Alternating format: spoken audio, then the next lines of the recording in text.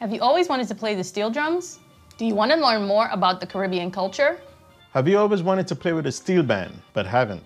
Either because you can't read music, don't have access to an instrument, or felt intimidated?